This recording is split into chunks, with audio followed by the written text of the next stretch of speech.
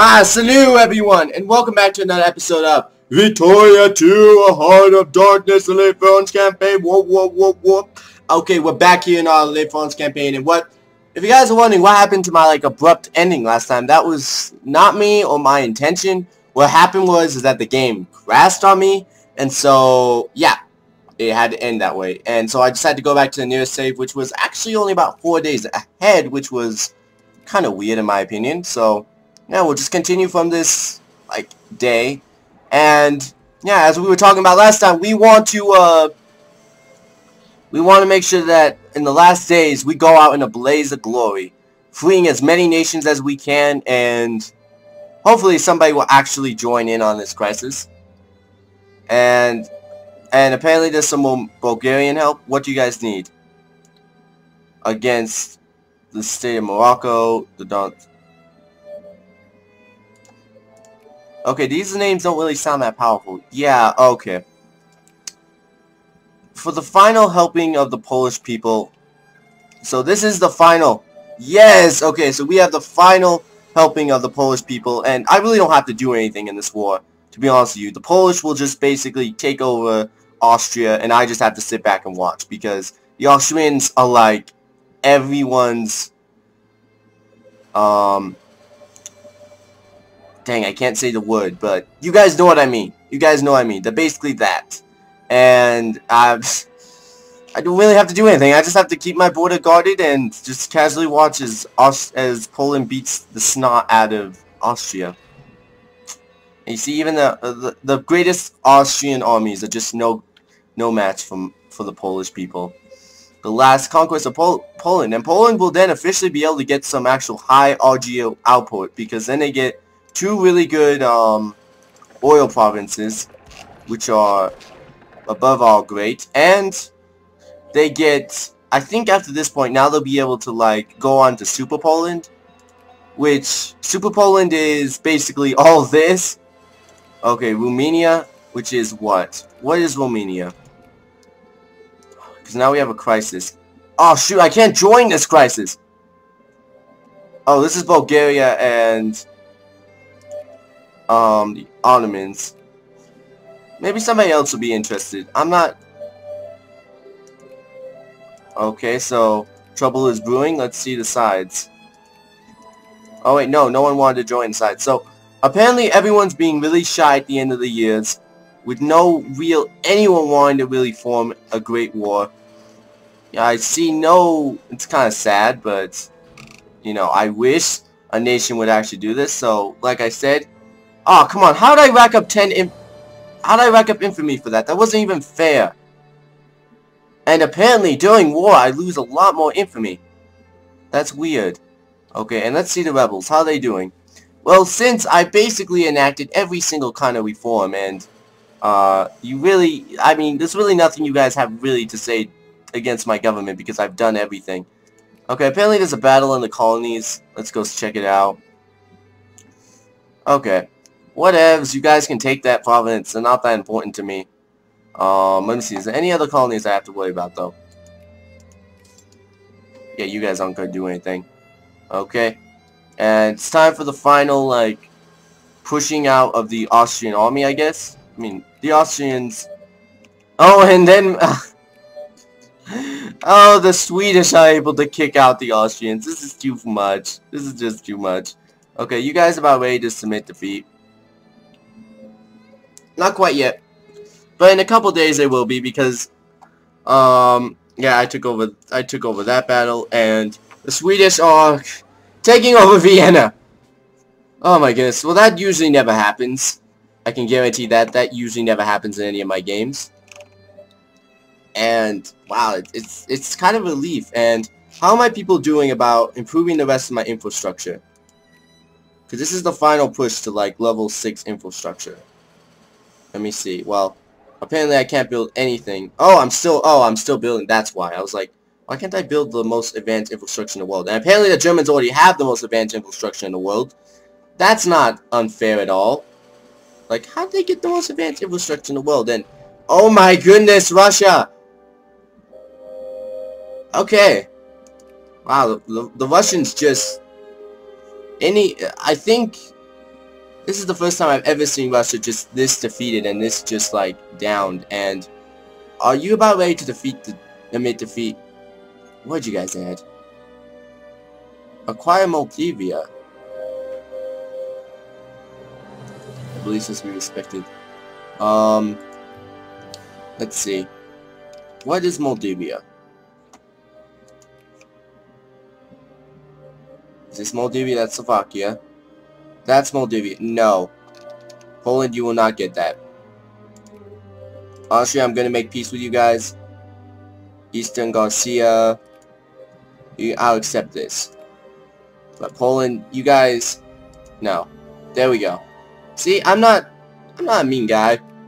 I just help my allies a lot more. And so now, Poland has officially done what it's supposed to do, and it has united all the lands I wanted to unite. So now this is good, and I'm almost done with... Actually, wait a minute. I swear that we were done with our... Oh, no, no, wait a minute. We went back in time. Shoot. And everyone's probably wondering, wait, what, what are you talking about, James? No, because I remember we finished this. We finished limited access roads last time. So, we actually are back in time, not in forward in time. So, ah, that makes sense why Bulgaria didn't do anything. And then Romania, ah, okay. Now this all makes sense. Now this all makes sense. It, it's it's all clicking in my mind. So, it's not time to just watch as, yeah, because we're also, we don't even have all of our ships built. We're not even at 790 yet. Which is what we get to later. Spoilers. Okay. And we're going to move this army over here. And we still don't actually have our capped on yet. But as much army we can build. I mean, we can build so much. Okay. I think these are all the tanks in my division. So this will completely finish off the tanks. And we are still... Apparently there's some kind of Swedish war going on right now. Annexation of Wittenberg. I'm, I'm sorry, Sweden, but you're not going to be able to stand against that. And the Germans have definitely moved into a much more aggressive stance at the end of this year. Um, I'm wondering if if their aggression is actually going to take them as far as to try to challenge me to a war. And if they do try to take over, if they do try to take over Switzerland, I'm into I'm intervening at that point, intervening. And no, we're done. Okay, this is what happened last time. We got this influence point with Romania, and I said nope. Okay, so yeah, we are reliving the past. So what else do we need to do? Let's make uh more ships and not here, right here. Make some dreadnoughts. Yeah, okay. So I'm so sorry, people. I thought we were I thought this saved it actually like somehow fast forward in time. So I was like, oh, that's really cool because we were like at December 26th when this crashed last time. Hopefully that won't happen again. So yeah, that makes. So does that mean we did this already? No, we aren't making these fort levels, or these. We are doing that one. So maybe we did do some of it, but we didn't do all of it. So, okay, so now we're building up on. Let's see, are we still building? Yeah, we still got a lot of ships in there. So we'll still, at the end of the year, we'll probably have enough ships. And we are so close to overtaking. And the Principality of Somaliland, let's see, how big are the rebels? Uh, not anywhere big. The Somalis people could handle them. By the way, the Somalis, can we have a military access? Because I mean, we've been friends for... No. Why you guys are still jerks? Go on, increase my relationships with you guys by one. By one, but I'm not going to increase them by that much. And, okay, I'll give you, us, Germany, I'll give you guys this. If you guys will take only that, you guys may have Wittenberg. So I can't really stop you because there's no way I could stop you. But that's, uh, this is, this is what Super Germany is, everyone. Super Germans have been formed. Sadly, somehow I could not prevent it. Even though I did invest a lot into it. Okay, and most of my factories are doing fine. We don't really, we don't really have to worry because the capitalists are going to do whatever. And Germany, yep, Germany is now doing that. And I'm wondering, I'm seriously wondering if they're actually going to try to challenge me to a war. Because I would love to see that happen. And just love to see them fight as many allies as I have. Now Germany is really trying to topple me. And I am so mad at China right now. you gotta be kidding me. China is just like staying just barely out of my reach. Uh, Okay, and this is the final tank. Okay. Yeah, this should be the final tank. And wow, we have a good line going. Okay. Yeah. I mean, we have a much... I think now we have a much more strong line than the Germans. I mean, the Germans have... Look at the front right now between me and Germany. It's just immense. Like, look at this. We have just this entire row. And honestly, we went to war right now, this would be a good battle. It'd be the biggest, probably the best battle that's ever been fought in the world. I mean, I think I'd win in the end because the only alliance is with Sweden, and Sweden's not that great. The Ottomans might pose a little bit of a challenge, but as long as the Italians can go in and go take them out, we'll be fine. I'll be able to also do some things over here in my own colonies, and I'm much stronger than the Ottomans, so this should not be much of a problem. But, okay, yes, our athletes are victorious. Woohoo! Still number one in everything else but militaristic power, which I'm trying to beef up my borders, or beef up my tactics right now. And how should we do that? Maybe what we should do is just cancel all this. It seems like my African troops are not being made, so I'm just going to cancel that. I'm going to make all my troops back in um, France, because France seems to be much more on top of it, and I'll destroy some of these guys. Make another army, 14. I'll make this even bigger than my other armies. 14, I'll make this 8. 8 troops. 5, 6, 7, 8. Okay. And one, two architects. And a couple horsemen. There we go. This is to be our biggest army yet. And we've got uh, new people right over there. Louis Donchny, I guess our best commander ever. And I'm building more troops over there. Yeah, it seems like our troop cost is starting to catch up with us. That's okay with me though, because we still we still have a very powerful economy.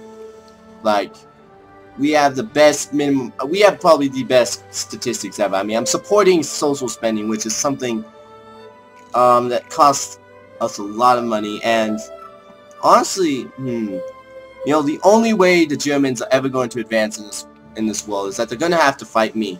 Because if they want to go towards Poland, I'm going to fight with the Polish. If they want to go towards the, uh, go towards this region, yeah, I'm definitely going to fight them for this. The only problem is, is that they do have the Netherlands, which I'm thinking if we were to go to war, the Netherlands would probably join the, uh, Germans. So that means it would probably be a yeah, this is like major lag. Hmm. I don't know why my game's... I'm starting... My memory files are starting to crack down now. Now that we're at the end of the game, it's starting to like revolt against me. But, ah, so very close. I bet you anything. If they're at 2,000, I'm going to be so mad. No, they are less than that. And we're so close. Like, we are so... Oh, finally! And Spain! the Jacobson's rebels took over again. So now Spain has, I guess, come full circle. They were communist. Well, they were conservatives. They became a communist. And now they're back to conservatism.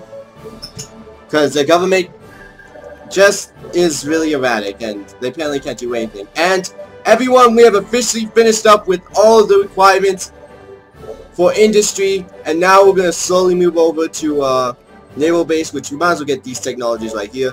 And, by the way, I didn't notice this, but my literacy is about 91.8%. That's pretty dang good, because I guarantee not many other world-class nations can read that well have that high prestige in terms of literacy. And, wow, this is just... I don't know why. This is just such a peaceful time, except for Poland. Poland can handle it. Yeah, Poland Poland, I think now is independent enough that they can handle anything that is thrown at them. Germany, oh man, Germans, just the Germans, everyone, just the Germans. So we got our armies being made. I'm just gonna chill. Mm. In fact, you know what I'll do? Let's show the map modes again. So infrastructure, so you guys can all see. Cotton industry. The only places that don't have really good infrastructure are Mexico and Russia. Okay. Diplomatically, I don't think guys, that's our important map mode. Region-wise, this is always a cool, this is always a cool map mode in my opinion, because you get to see all the regions. And Africa, awesome. Revolt risk, I don't think I have any, well I have a little bit of revolt risk, a lot of revolt risk in Ethiopia. Ethiopians are very, very anti-me, but then again, I wasn't really pro-Ethiopia either. Um, Administration-wise, yeah, we mainly have our control in the main place, but we never could really branch out and control anywhere else. Most of our colonies are pretty badly structured, except for Panama, which I really gotta stop considering a colony, because it's actually really a full-blown state. Okay, colonial powers, col wait, colonial map mode, uh, 2.6. I don't know why it's like circling my region, but okay. Let me see. Colonial range, ah, it's just telling us colonial range. Okay, that's good. Um, recruitment mode, I can actually recruit a lot of soldiers, especially in Korea. National focuses, speaking of which, I'll look at that in a second, because I'm going to look at see if they actually did affect the voting rights anyways. Naval strength,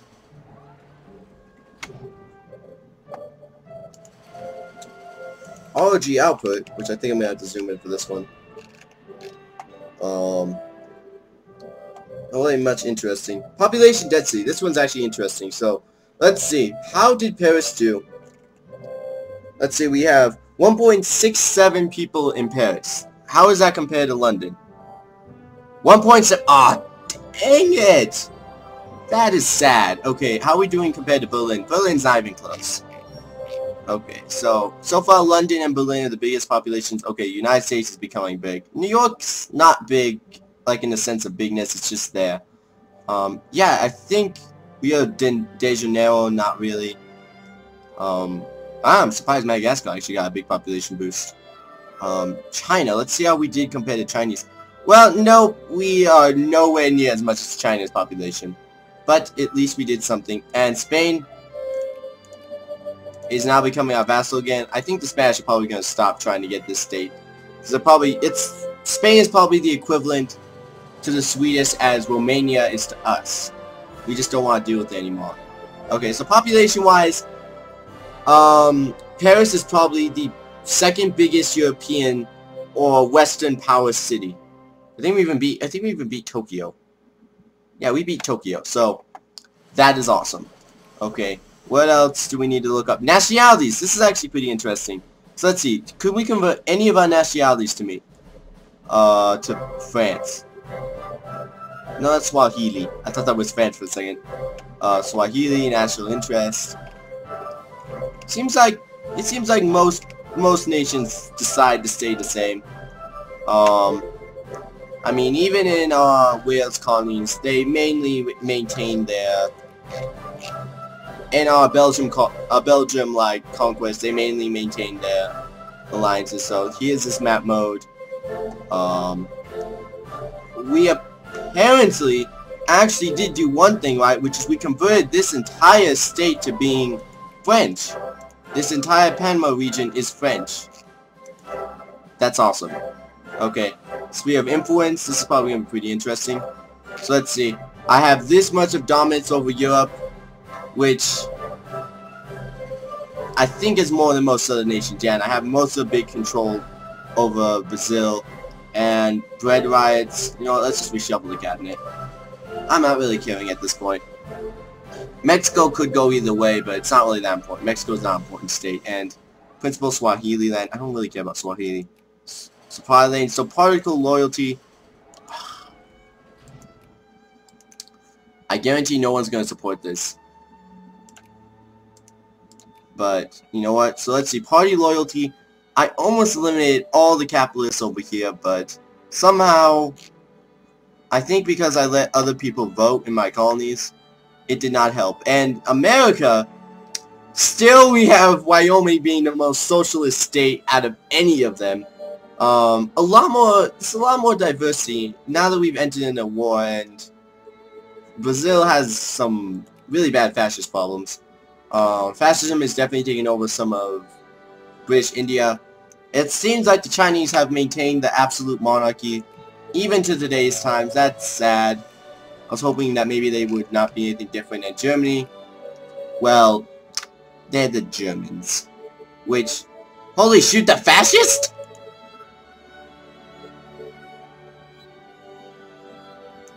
No way. No, no, no way. That's gotta be a joke. That's, no, it's not a joke. Holy shoot, the Germans are fascist.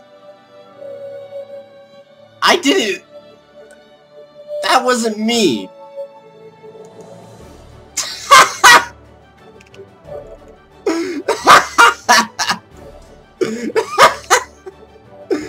I'm sorry, people, but that is... Oh, man. Well, apparently, I guess... Wow. so,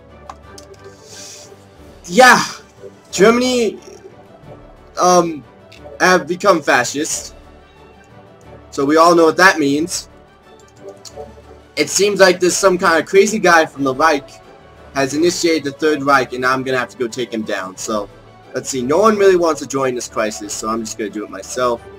No one's going to join. Yeah. That's what I thought. So, Germany's fascist! And yes, that doesn't seem like a big deal, but come on. When historical things actually happen, you have to get, just take a moment to laugh at them. Okay, and right now we're taking down all of the rest of the naval stuff. And now we've officially become number one in our militaristic power again, but dang, Germany's fascist. And they've taken over most of the nations around them, too. Oh, shoot. Uh, do we have Poland guarded just in case something might happen, you know, to the Blitzkrieg?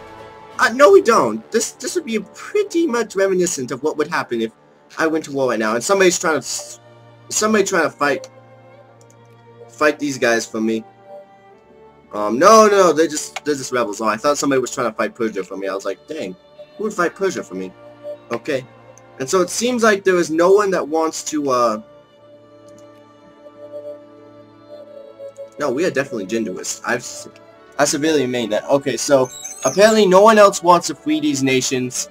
So, you know, for next episode, people, I'm finally going to add the war goal, and we're finally going to go start going after the Ottomans and starting this war that I hope will end our wars. Okay, see you then, people.